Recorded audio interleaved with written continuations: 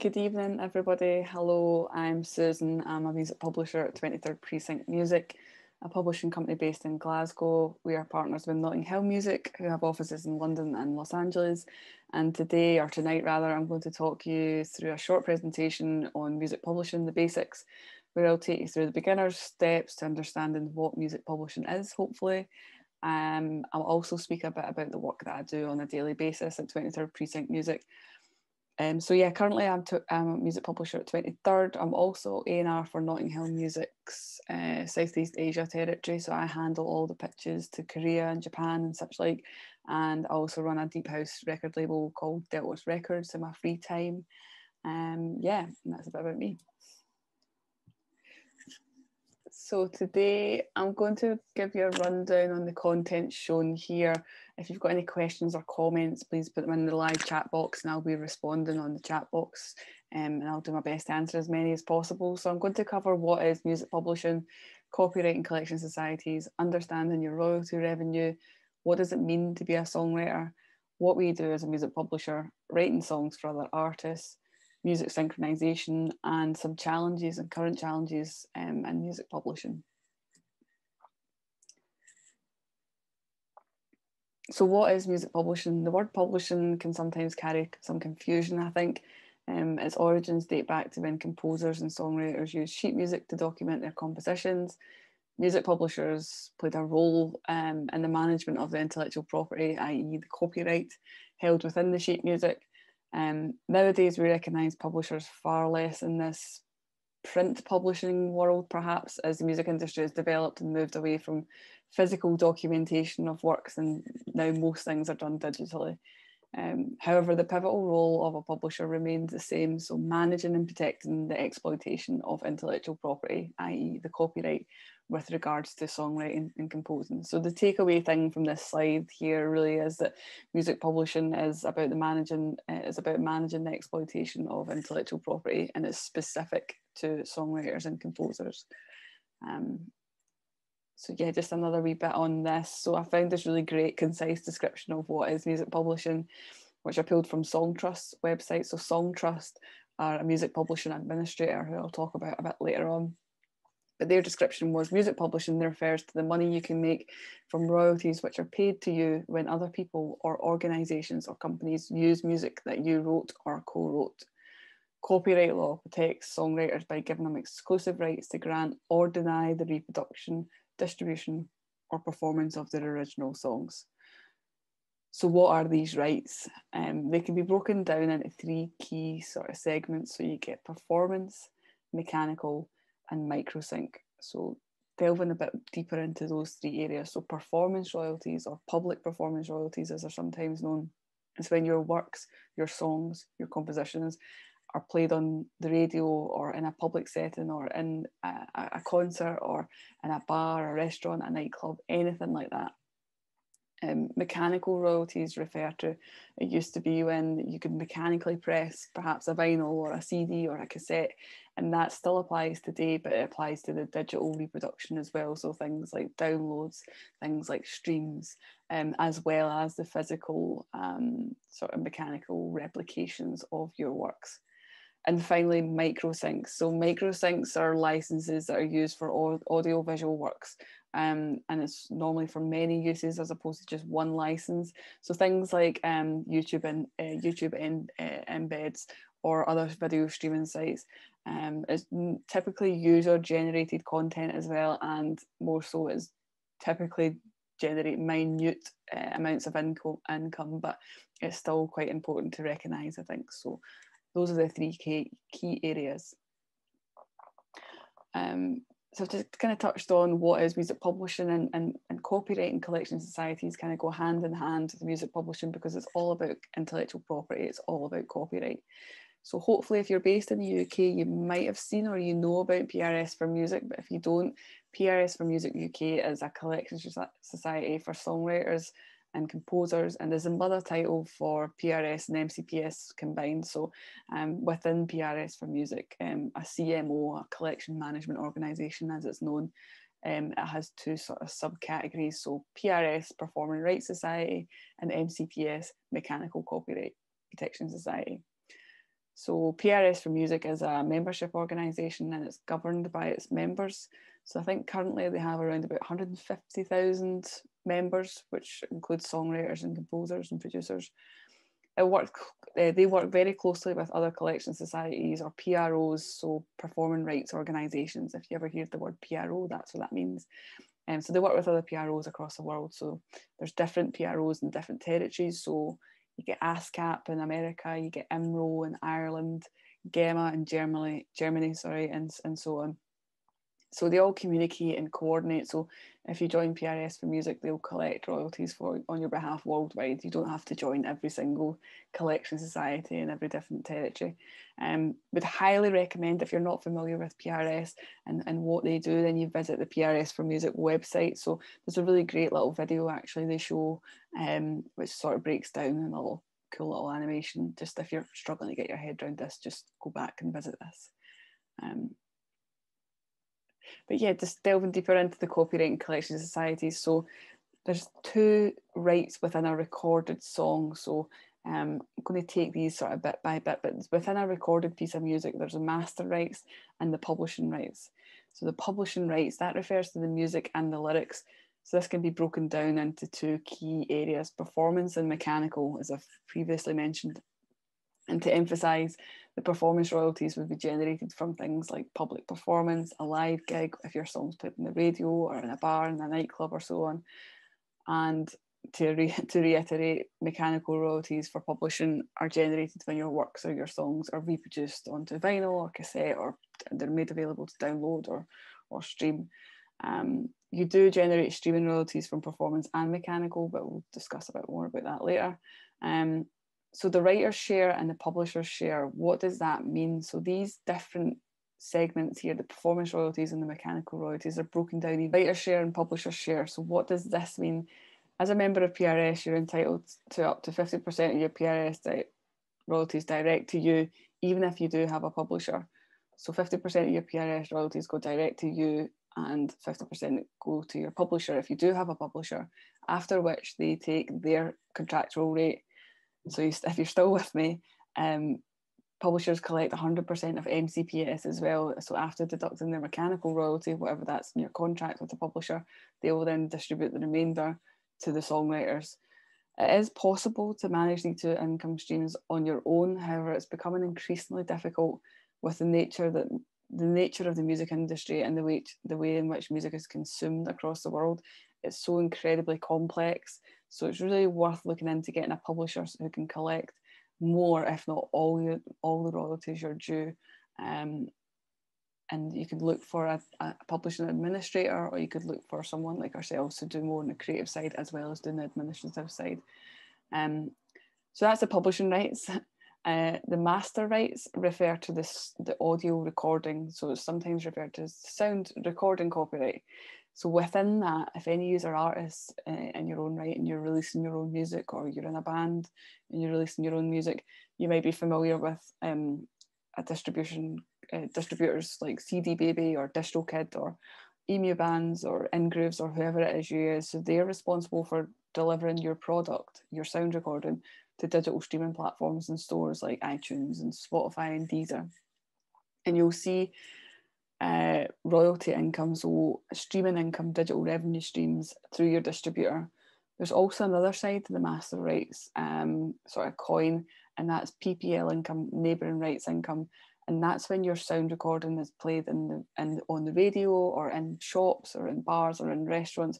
You'll be due a mechanical neighbouring rights royalty from that. So um, there's if you're a record label, then I'd highly suggest that you sign up to PPL. If you're a performer or a musician, I'd highly highly recommend you you sign up to PPL. It's free to join, um, and just to emphasise, that's on the sound recording side. So if you're playing a, mus- a musical instrument, or you're singing, or you produce the track, and um, you play synthesizers or something like that, then you can collect royalties um, on the master side if your songs are getting played on the radio. So hopefully I haven't melted your brain too much with that bit. Um, so just another, just a final bit on the um, copyright and collection societies is when you write new music, this is you creating new intellectual property, and this uh, and you have the rights to manage the usage of it, the intellectual property. Think of it as the copyright within the song, the composition, the music, the lyrics. This is the publishing copyright. As I've previously mentioned, obviously you do get the master copyright, but for now, let's focus on publishing rights. So you've written a song, what's next? It's important to document um, and protect this new copyright. so when you've written your new song or you're perhaps you're preparing it for it to be released, you should log this new information with your collection society. So that would be PRS for music here in the UK. They'll ask for details like track title, details of writers, um, their percentage. So if you write a song with three other people, um, are you splitting it 25% each or are you doing une- unequal splits? Obviously, it all has to add up to 100%. So as long as it adds up to 100%, you should be good to go. Um, so you might be asking yourself, like, should I join PRS? Should I join MCPS? Should I join both?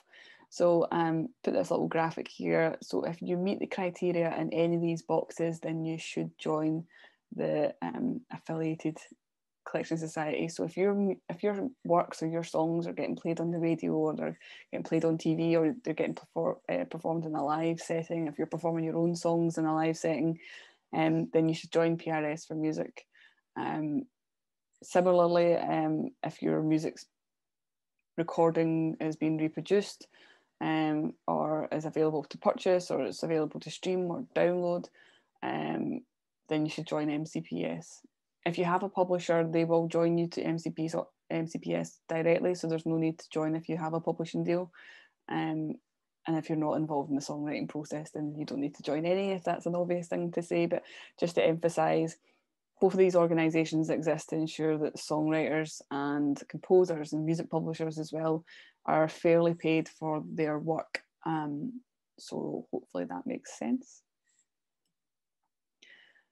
Uh, just a couple of bits on understanding your royalty revenue before we move, a couple of more bits on PRS and MCPS before we move on to something else. But um, you can join these two organisations independently and individually as a uh, as as an art, as a songwriter. Um, and just to emphasise again, um, you can join PRS if your music's getting played on the radio or it's getting played at live gigs or whatever else. They'll distribute royalties to you direct four times a year. Um, even if you do have a publisher, like I mentioned in the last slide, 50% would still go directly to you um, like I mentioned, four times a year. So April, July, October, and December, and that'll get paid straight into your bank account.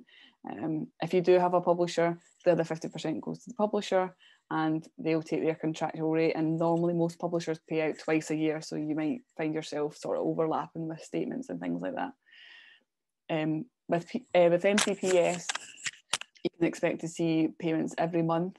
Um, and um, just to emphasize again, this is an extremely complex side of the business. So I would highly recommend maybe assigning someone like uh, TuneCore or Songtrust or Sentric who can collect your mechanical royalties on your behalf. Um, if you're just looking for someone to sort of tidy up the admin for you. Um, but yeah, MCPS, when your music's played, uh, replicated onto CD, vinyls, cassettes, or is available to stream or download. Um, this is just a quick screenshot of the PRS for Music login homepage. Um, if you join PRS or MCPS, you'll be able to manage, document, amend, search your works all through this portal here. So this is where you'll see your publishing statements too, so you can check and see if things have been paid correctly or if you've I don't know if you played a big festival in the summer, you can log log on and register your live performance there. Um, you can register all the works that you played, or if you've got a residency in a bar or a restaurant, um, and, and then they're a PRS PPL licensed venue, you can register all your works that you're performing in that in that set. Um, because remember, you're due royalties if your uh, works are getting broadcast um, in a public setting. So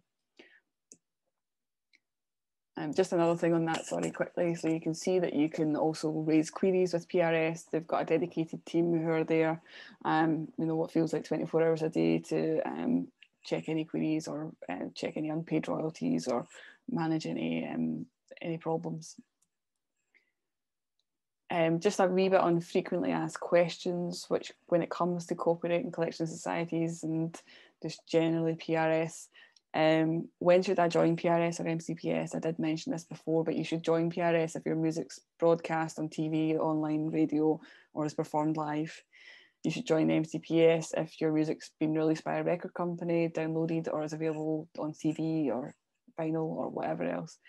Um, how much will a songwriter earn for 1 million streams on Spotify? That is a question we get a lot, um, and there is no one uh, definitive answer. Um, to this, it really does vary so much that it's hard to even give like a ball ballpark figure. Um, so things like if users use a freemium model or uh, even can depend on the territory. So the, the the actual incomes vary so much from platform to platform. So Spotify and Deezer and YouTube Music and uh, SoundCloud and all these platforms play out different royalty rates. So my best advice here is really for you to manage that expectations when you are seeing your income through uh, your publishing statements, through your MCPS and PRS statements. Um, that sound like I tried to avoid that question, but there really is um, just such a wide range of income streams for that for different DSPs. Can I claim the publisher's share on mechanical royalties without a publisher?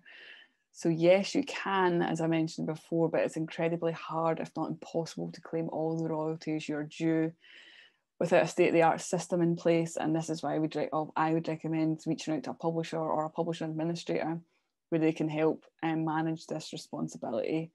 Um, yeah, can I release a cover of someone else's song? Yes, you can release a cover on someone else's song. Covering a song means that you're co- copying someone else's intellectual property, and there's nothing wrong with that, so long as you're not trying to claim the song as your own. So this is where the two copyrights that we were speaking about earlier come into place. So the recorded piece is something you're re- you're creating a new recorded piece, but you are copying the publishing rights. So you would have to credit your new recorded piece with the original songwriters of uh, the original track. Um, so you can release it on Spotify and you can release it through DSPs. You just have to dis- you just have to um, uh, observe that it's a, a, cover and you won't be claiming publishing royalties for that. You will retain the master rights as if you're creating a new recording though, so that that would be yours. Um, so hopefully that makes sense. Um, I want to sample a piece of music. Where do I start? So sampling is something that's really, really prevalent um, and all all genres of music, typically uh, sort of historically hip hop music and, and dance music sort of was particularly sample sample heavy. But if um, any producers or any people out there who are looking to sample a piece of music, find out who the copyright original copyright owners are and reach out to them. Um, I mean, there's nothing worse than you putting a bit of music out online, which one you don't have the rights to, um, and then you're facing some lawsuit for misuse of someone else's intellectual property um, it's a bit like that car advert you used to get in the cinemas. Um, you know, you wouldn't steal someone else's car, you wouldn't steal, uh, you don't, you wouldn't steal something from a shop, so you shouldn't be doing it with music either. Um, if you're really struggling for for for things like um, for samples and um, sort of um, inspiration, there is sample libraries which are royalty free, so those are fine to use. So things like Splice, um, you can use sample to your heart content, your heart's content off things like that. But but ripping things from YouTube videos and things like that, then that is in breach of uh, copyright law. Just a point in that as well. If you are sampling something, um, something that we do sometimes is we get people to re-record the sample. So say there was a vocal sample that we wanted to use or one of our writers wanted to use in a track, we could get someone else to re-record the vocal because that's creating a new master copyright. So we just have to clear the publishing copyright so that's just something to think about for anybody out there who's struggling with samples. Um, and the last point is I'm still hella confused. Where can I find more resources on music publishing? Um, I understand and I totally uh, get that this is hugely complex and I'm not expecting everybody to understand everything I'm saying, but there are great resources out, out there, um, lots of great webinars, lots of great um, text resources. So you should check out platforms like the British Phonographic Industry, AIM, which is the Association of Independent Music, the Music Publishers Association, which have got lots of great resources. Songtrust have got lots of good reading documents online as well. And um, yeah, just our own platform as well. We've got a couple of, um, I think Resonate, I've got a couple of um, publishing videos which you can check out in your free time. So yeah, moving on to a bit more of the lighter stuff. Um, what does it mean to be a songwriter? Um, so a songwriter by definition is someone who composes words or music or both for songs. Um, you know, you can be more than one thing. And this slide was really just to demonstrate some of our publishing roster at 23rd Precinct Music who do um, a multitude of things, shall we say. So starting from left to right, we've got Emma Brammer, who is first and foremost a songwriter. She's an artist in her own right. She records and releases her own music. She's a session singer um, and she's done stuff like Jools Holland and she's toured with Gaz Coombes and lots of other cool people. Um, and she's also just recently taken up um, production, so she's always trying to level up her skill set, which is she's, which is phenomenal. Um, next to her, we've got Scott Forshaw, who again is a songwriter, producer. He's an artist in his own right as well. He's got a couple of aliases that he works under. Um, and he's also a mixing engineer and a mastering engineer, um, and he's based over in Dubai. So he does a lot of um, production work for people, and um, he's also a DJ. So you can see he's a, a busy, busy man. Um, Alex Robson in the middle there. So um, she's also a songwriter and an artist, and she's also a studio owner. She she runs Charthouse Studios in Portsmouth, where she has a long list of clients that she works with. Um, she's always up for collaborating. She's great to work with. Um, she's also a producer. She can produce really, really well to a great standard. Um, and yeah, she's she's great. Um, next to her, we've got David Forbes, who's probably one of the most well-known trance DJs in the world, definitely in Scotland. Um, and he's a songwriter, producer, artist. He runs his own label. He runs his own studio. Um, he's a mentor for a lot of young um, producers out there as well. So you can see that he's sort of jack of all trades as David. Um, and finally, Joy Farouk on the far right. So she's um, a, a, most recent signing to 23rd Precinct Music, and she's a really interesting person who's had a really illustrious career so far. Um, she was a session singer and she's a touring musician with like Moby, and she was in a band called Incognito in the 90s, a really popular dance band. And she's a songwriter and an artist in her own right as well. Um, and she has a, a, a, producer that she works with um, all the time who's called Justin Keelty. So you can see that she's sort of found a producer that she likes to work with and they just work together all the time, which is a cool, a cool thing. Um, yeah, so just a bit more on that and and being a songwriter in 2021 and what that is. Um, and uh, if you're interested in writing songs for other people or just developing your songwriting career, I guess, um, just jotted down some tips and some advice that I, I prefer to see when people are approaching me personally. Um, really, if you're a songwriter, you you really need to build up your repertoire of music. I know that sounds obvious to say, but if you've just written one or two songs, then you really need to get out there and just build up your repertoire and make it as strong and diverse as possible. If you want it to be diverse, maybe you want to keep it, you know, um, sort of tunnel vision to one genre, but you get lots of people who want to write into different different genres. Um, showcase your skill set. I mean, that sounds obvious, but when people are approaching us or approach me or I get sent links, I want people to demonstrate that they're an amazing vocalist or an amazing lyricist, or maybe they've got great production skills or um, you know, whatever whatever that is, whatever their strong suit is. Um, spend time perfecting your craft. Again, sounds obvious to say, but um, you know, if you're just doing this maybe an hour a week or whatever else, whatever, I think you really need to make that hour count. Um, and you have to be always looking to develop and move up to the next level and um, you know might be getting a new bit of equipment or it might be downloading a new bit of software or it might be going and learning about music rights and, and publishing rights, or it might be um, just anything. You always have to be honing in on perfecting your craft.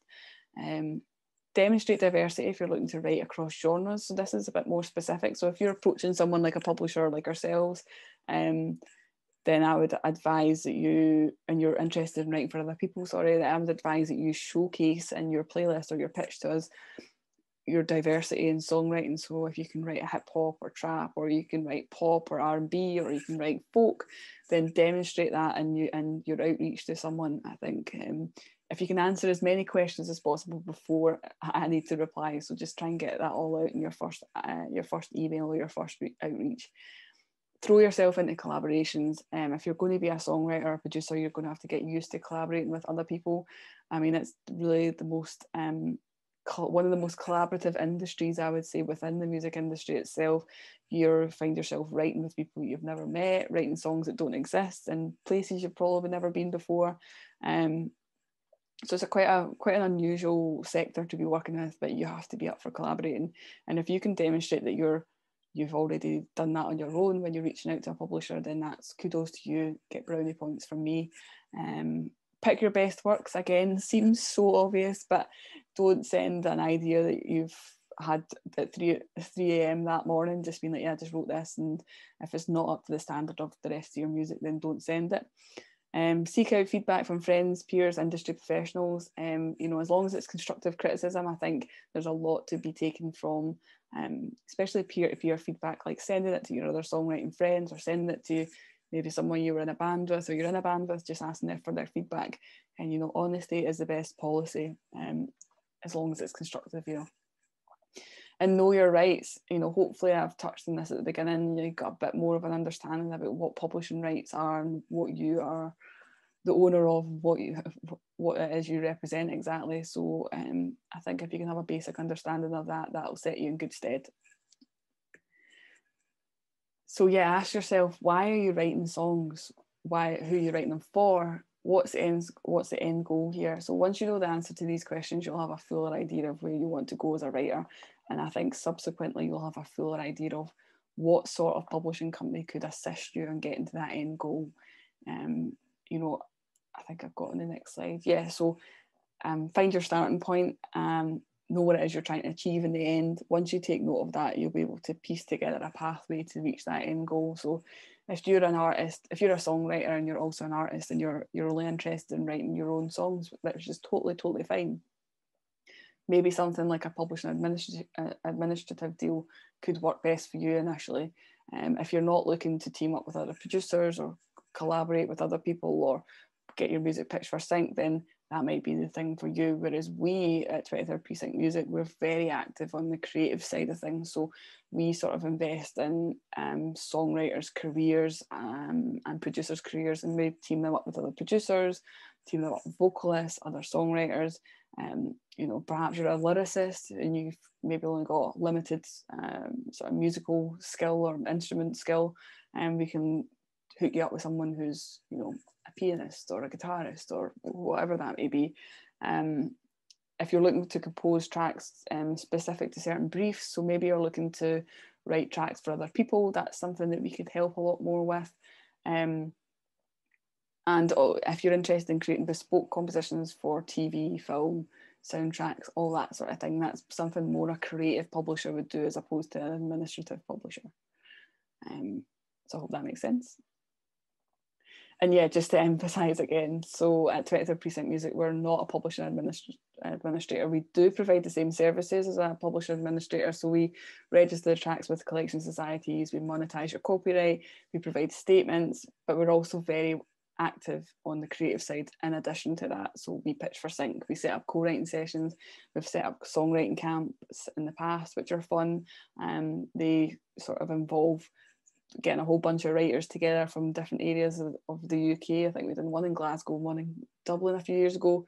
Um, and we get a group of writers together, separate them into groups of three, provide them with some briefs to write to, um, and then off the back of that, I'll pitch those tracks to labels or maybe the client that's in the brief in, in the first place. Um, I also um, pitch a lot of demos to management companies and record labels and so on. So um, that's just something worth thinking about if you're looking to pitch your music but you're not going to release as, a, as an artist and you're just looking to pitch it to other labels. That's something that someone like us could help with.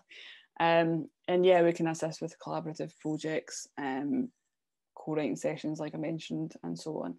Um, so yeah, the pitching process, like I mentioned in that slide there. So as a creatively active publisher, we pitch demos, tracks, acapellas, top lines, all sorts of um, you know creative uh, sort of songs or part songs or just um, little ideas, snippets. So um, this is something that we can really help with um, and push from from our side. Um, so hopefully you'll recognise some of these labels that we've worked with in the past. So um, Parlophone, obviously Polydor, Sony Majors, um, major players in the in the recording game. Yeah, so the pitching process, just to to to, to emphasise, so we receive a variety of briefs from different parties. Um, so I can be pitching to those guys that send us briefs, or I can be reaching out to new people. So I'm always looking to expand our um, sort of network or label contacts, management companies that we look to pitch to other publishers, you know, setting up co-writing sessions with other publishers. Um, so that's how that works. Um, briefs, briefs come in many shapes and sizes and forms, so they can be in search of full songs, acapellas, instrumentals, top lines. Um, and this is when a client like a, a management company or or a, a, publisher or a label will send us stuff that they're looking for essentially. Um, and we work with with those guys who are based in lots of different territories and they bring a, a unique collaborative um, approach and opportunity to, to our songwriters that are signed. Um, so a recent example would be um, Alex Robson, who I mentioned in a couple of slides ago. She phoned me up and said she wanted to get some more co-writing sessions in her books. So um, I reached out to a company, a management company in the Netherlands, um, who I knew were writing some really, uh, who I knew had a roster of writers who were creating some really good pop music. Um, said our writer Alex Robson was up for getting in some writing sessions. and set Alex up with a, a guy called Brian Provoost, whose artist name is Voost. They wrote a song together. So Alex um, and our other writer Cameron were involved in that session. So it was a 33% um, split each. Um, and the resultant track um, called Want You was released on a label called Chill Your Mind. It's done 4 million streams. It's um, been playlisted by Radio 1, it's been playlisted by Capital. Um, it's uh, they've just re- released an official video for it last week. Um, it's getting a radio campaign in the states, so you can see how there's this chain of events which leads to um, the music being commercially exploited, which is what we as a publisher is our ultimate goal. Because when music's sitting there not released or not doing anything, then obviously there's not going to be any any income generated. So that's why we do a lot on the, the, the creative side and we do a lot of pitching and we do a lot of setting up these sessions because it's within our best interest to try and get um, you know as much music and as, as high a quality of music out there as possible and in a bid to see see financial return. Uh, yeah, so I'm just going to just close this off um, a couple of bits on music synchronization, which I'm sure a lot of you are interested in. Um, and hopefully I can kind of touch on what this is and how it works and how you can sort of better your chances of getting music picked up for a sync. So sync by definition is when music's put to move an image. So whether that's trailers or, or movies or film, uh, movies or films are the same things, um, or advertising or games or anything like that. So um, that's that's basically what a sync is and for for um, for the purposes of this slide, I would just like to bring back the, the, the thing I, I, mentioned earlier about the, the two copyrights within a song. So to have a piece of music cleared to be used for TV ads, arts, games, or so on, they have to be um, they have to be given permission from each side. So the publishers have to give, give their permission, and the master owners have to give their permission for that piece of music to get used. So what does that mean? So, excuse me, a, a lot of fun, a fun little exercise and, and, and the sort of give you an insight into the role of a, a music supervisor who, who are essentially the gatekeepers to, to, to these spots to getting your music used in TV and ads and games. So music supervisors are the people that are hired by the, the clients. So you know Volkswagen or it might be Made in Chelsea or whoever else, and they hire these companies who go out and do the song search. So um, you know you need to know the master rights owner and you need to know the publishing, uh, who owns the publishing rights. So you can find all this information, um, you know, even if you're not a music supervisor. So this is a fun little exercise just to get you used to it. So you can find the representatives for publishing and masters on popular songs. So I've just used one of our songs just because, um, you know, I can. Um, so using the PRS database, which um, if you are a member, you'll have access to, you can use the search works function to find out the songwriters and their publishers. So I've searched the song Casual um, by the writer Emma White, who's signed to us for this specific track. And you can see on the slide here that um, Notting Hill Music uh, are who are who are partners, they represent this song. So you would contact Notting Hill Music if you wanted to clear the publishing on this song. So who would you contact if you wanted to clear the master rights owner? Well, you can find all that information out now on Spotify. So Spotify um, a few years ago added this song credits function. So if you go to show credits, you'll be able to find information like who performed the track, who wrote the track, who produced the track, and who the master rights owner are, and that's under source. So you can see for this specific track, the master rights owner is Gemstone Records. So if I wanted to if I wanted to clear this piece of music for a sync, I would have to reach out to Notting Hill Music to clear the publishing, and I'd have to reach out to Gemstone Records to clear the masters. So if you're interested in, in the world of sync and you're interested in sort of getting your music used in sync, then it's really important to know how to present your music to music supervisors, or if you're going to straight to production companies, to production companies. Um, at 23rd Precinct Music, we use a platform called Disco. So Disco is a um, music supervision platform which was created by music supervisors for music supervisors. It's essentially a metadata uh, platform which where you can store your music. So um, the, the importance of metadata in sync cannot be emphasized enough. You really need to have all the key information there, including ISRC, including the year of release, including contact details should um, a music supervisor want to contact you to license the track, to clear the track. Um, things like lyrics are really important as well.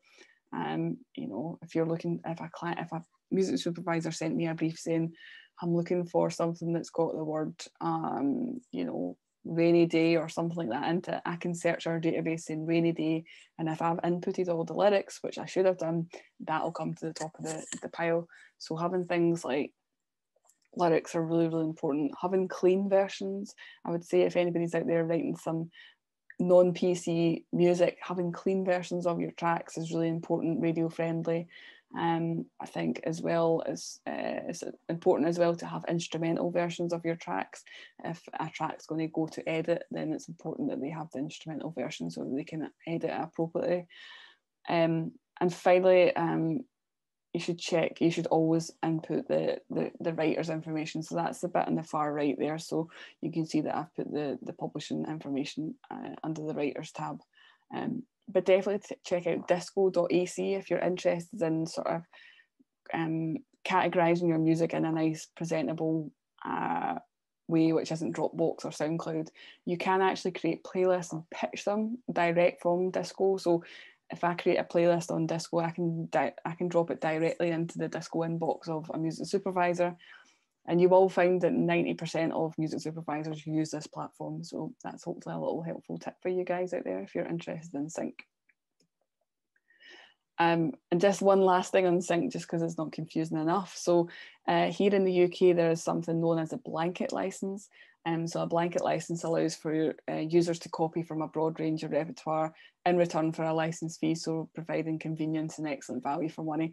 The license fee is paid to the rights holders whose publications have been shown to be copied. So this is applicable for things like BBC, ITV, Channel 4, Channel 5, Sky, um, and it basically means that um, you know if your bit of music's used in Homes Under the Hammer or something like that, it means that that'll just turn up in your publishing statements. They won't have to contact the master rights owner or the publishing rights owner um, to clear that for you.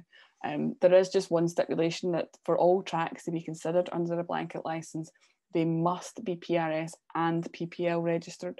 So that means that they must be registered from the publishing side and they must be registered from the master side. So PPL, I've not really talked about that much, but if you have a record label, they should be PPL registered. And um, so if you're releasing music on um, whatever label, major, a big indie, whatever, they should be PPL registered. So any any music that they're distributing, they should be registering the recordings with PPL, which is Phonographic Performance Limited. Um, and PRS. So if you don't have a publisher, then you're responsible for registering your tracks with PRS. But if you do, then obviously your publisher would be responsible for registering your tracks. But that's just something really, really important to note. So I always get people saying like my music would be great for Love Island or my music would be great for uh, you know Celebs Go Dating or any of these programs. So um, it's really important to, to let them know and to let you guys know as well that for that to be uh, even an option, the tracks must be PRS and PPL registered. Okay, yeah, so I think, um, yeah, just wanted to touch on just quickly some current challenges in music publishing. Um, you know, hopefully I've given you a little bit of a basic understanding of what music publishing is and what that entails. Um, but I think there's more that needs to be done to really um, give artists and songwriters and all those at grassroots level and even intermediate levels the understanding that they need to have of publishing. Um, another challenge is the remuneration can seem unfair in comparison to the time given to the work. So yeah, remuneration and getting paid for your for your work is is um, a difficult thing to balance sometimes when you when you compare the amount of time that you put into creating a composition and what you realistically get out at the end, you know. And I think that you can be a successful songwriter, you totally can be a successful songwriter and you can reap a lot of financial return. But as long as you know your rights, you're looking after your intellectual property and you're managing the exploitation of that intellectual property. Um, the digital revolution obviously has made music accessible for us all, which is fantastic. Uh, but essentially, we've got the World Songbook, um, you know, at the click of two fingers, which has really been detrimental to artists and songwriters and just musicians in general getting paid. So, you know, maybe maybe we will see something um, changing in the future, which is going to level up that playing field. There is a really nice, um, really good campaign on at the moment called Broken Record, which you can check online, just hashtag Broken Record, and it's challenging the financial viability of um, digital streaming platforms essentially. Um, another challenge is um, it can take a long time for songwriters to receive income. So um, that is one of the things that we try and manage um, at 23rd Precinct Music is, is expectations of when you'll get paid. So um, it's not like if you do a live performance, um, you know, you get your fee afterwards or whatever else. You have to wait sometimes years for income to come through. Specifically, if it's overseas income, um, you know, you think about how complex the communication network is between your collection societies and um, all the different DSPs that are playing out different royalty rates and everything like that. So you can see it's hugely complex, and that in turn has a an adverse effect on when writers get paid. Um, which is which is a challenge.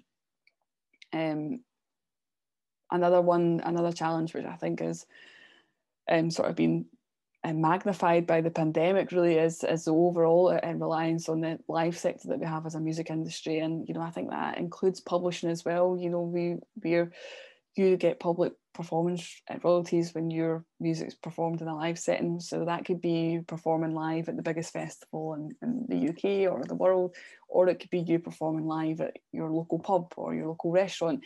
You know, it's really the disparity and is, is it's going to affect everybody. So I think that is a challenge and I'm, I'm hoping that, you know, when things do get back to normal, there's going to be a bit more of a level playing field and a bit more of a balanced approach, but um, we'll wait and see so I just wanted to end on on opportunities. I don't want to end on a, neg- a negative note, obviously. So opportunities in music publishing, as the music industry has developed, there's even more areas for songwriters to explore than ever before.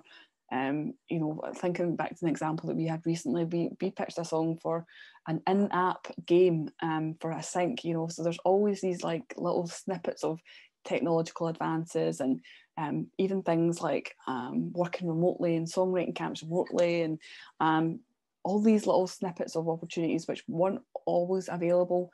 I think that's a great opportunity for for people who are maybe maybe live in an island or maybe don't have access to uh, funds to go down to London every weekend or whatever else. So you know, that's a bit more of a balanced um, approach, I think, and I think that's a positive for sure. Um, the pandemic again, I think, has taught us a, a, a big lesson that the world's a big place and the opportunity to collaborate can definitely start from home. Um, and you know we've learned that all from working from home the past year, pretty much, and um, the majority of us. Um, um, you can have a rewarding career as a songwriter, composer, producer if you know your rights, manage them well, and seek out opportunities for development. And finally, the world will always need songs. You know, I think um, of all the things that have happened in history and music has prevailed through it all and we're always listening to music you know. But you'll be hard pressed to find someone that doesn't listen to music or enjoy listening to some music. So um so yeah I wanted to end on that sort of positive note. Um and yeah just say thank you so much to you guys for for listening. And if you've got any questions then please do drop us an email at info at 23rdprecinctmusic.com and um, I'll do my best to respond. Um, but yeah, it's been great chatting to you all, and I hope you've enjoyed this session, um, Music Publishing, the Basics. Thank you.